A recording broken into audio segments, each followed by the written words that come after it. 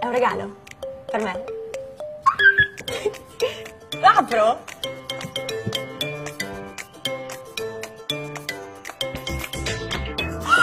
Fiori! Io adoro i fiori!